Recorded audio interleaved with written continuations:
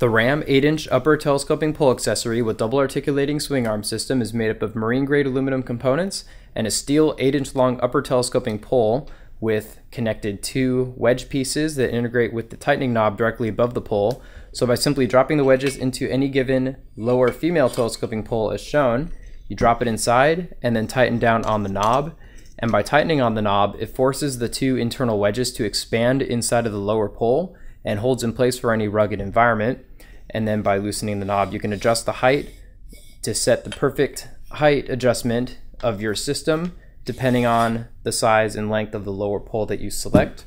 Coming off of the upper pole is the double articulating swing arm system where each swing arm is 6 inches long and with this scissor action you can get a total of 12 inches of the device coming off of the center of the upper pole and then tightening those do knobs down will secure in place.